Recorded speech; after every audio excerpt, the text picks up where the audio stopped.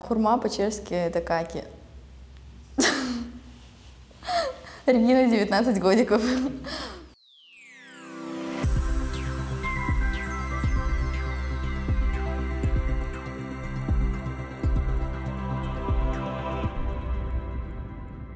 Всем привет! Меня зовут Регина, и я приехала на годовые курсы чешского языка в городе Брно из России, из города Уфа. Я нашла ПЭЦ по знакомым, которые уже учились в Чешской Республике на этих языковых курсах и очень хорошо отзывались о процессе обучения, об учителях, о объеме информации. И, в принципе, мне тоже это все понравилось, я все это погуглила. И мы с родителями решили, что это именно та самая школа, в которой я бы хотела учиться в Чешской Республике. Почему я выбрала именно Брно? А, ну, во-первых, это, естественно, то, что эта программа стоила дешевле, чем в Праге.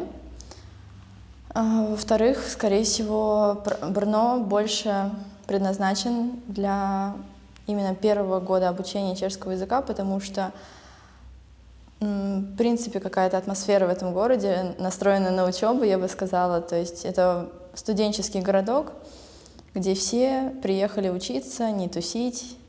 То есть в Праге больше соблазнов в этом плане. А изначально я приехала с мыслью, что я поступлю в ЧВУТ на электротехнику, а, но в дальнейшем я все-таки поступила в Высшую школу экономики на факультет информатики и статистики. Я, наверное, побоялась идти в ЧВУТ, потому что у меня довольно много знакомых учатся в этом университете, и я вижу, как они там страдают от учебы, и решила, что я бы хотела ну, чем-то другим заняться. Скорее всего, это что-то будет связано с информатикой, чем с физикой, математикой.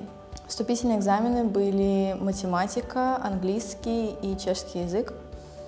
Я сдавала, а, получается, это называется, сейчас вспомню, на нечисто. То есть это как пробный экзамен. И по результатам пробного экзамена я поступила э, в ВШЭ. То есть я не сдавала уже с основным потоком сами вступительные. Мне осталось только сдать чешский язык который я также успешно сдала.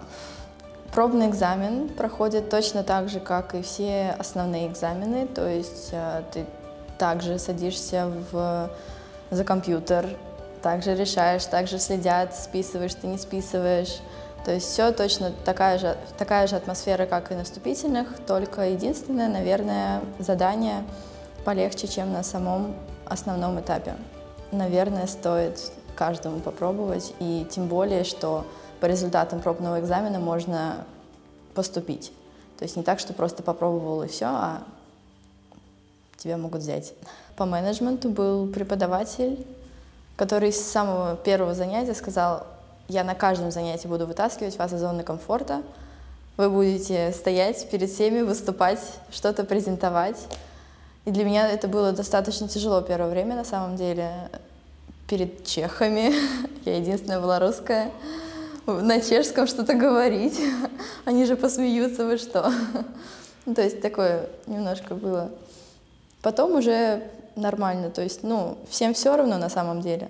И как ты разговариваешь, все с пониманием относятся. Я учусь сейчас пять дней в неделю, но в один день, например, у меня есть одна пара, в другой день две пары. То есть и какие-нибудь необязательные есть пары, на которые можно не ходить. Но есть два вида, всем известно. Это лекции и семинары. На лекции можно не ходить, на семинары желательно ходить, потому что там есть посещаемость, которую отмечают. У нас есть одна обязательная лекция, на которой отмечают посещаемость. Сегодня, кстати, была, и преподаватель просто не пришел в 9 утра. Вы серьезно? Лекции у нас проходят в больших аудиториях для 200 человек примерно. Вот. А цвичени, семинары проходят э, в маленьких кабинетах, может быть, с компьютерами, если это какая-нибудь информатика или Excel. И там по 20, по 25 человек помещается, в принципе. А на Жишкове есть огромные аудитории, наверное, на 400 человек, что ли, примерно. Там тоже проходят занятия. А сейчас, когда я переехала в Прагу, а, здесь появилась огромная возможность, огромный выбор, куда можно пойти работать. То есть это и агентуры какие-нибудь, и Макдональдс тот же самый. Но я выбрала а, работу в баре. Вот. Работаю барменом, подрабатываю. Приходите, сделаю коктейли. Я начала довольно недавно подрабатывать там, потому что у меня были каникулы, я думала, чем себя занять, и так получилось, что я там оказалась. А сейчас началась учеба, и нужно будет еще посмотреть, получится ли совмещать с учебой. Естественно, если не получится, я уйду, потому что учеба на первом месте. Я сюда приехала все-таки учиться, а не работать. На жилье у меня уходит э, примерно 3 тысячи крон, даже чуть-чуть, может, побольше, потому что у меня общежитие от э, университета, и поэтому оно довольно дешевое. Так, в принципе, уходит, наверное, около 20 тысяч рублей вместе с жильем, с продуктами, связь, дорогая связь.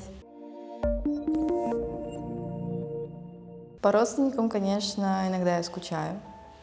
Но у меня никогда не было какой-то привязанности к дому, поэтому, в принципе, два раза в год ездить домой мне хватает. Я каждый раз езжу и под конец думаю, когда уже там домой, домой уже в Прагу. Очень многие ребята с моего города в том числе пишут по поводу поступления, ну, спрашивают, интересуются. И я всегда всем рекомендую ехать в Чехию однозначно. И я бы, наверное, каждому, кто смотрит это видео, посоветовала на самом деле задуматься об, об обучении, в принципе, в Чехии, потому что оно того стоит, мне кажется.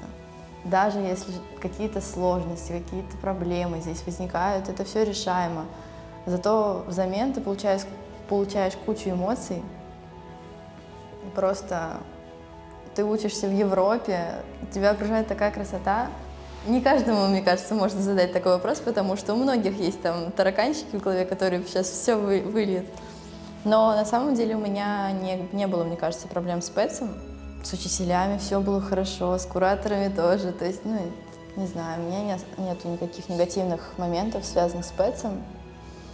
И я всегда рада была ходить на занятия.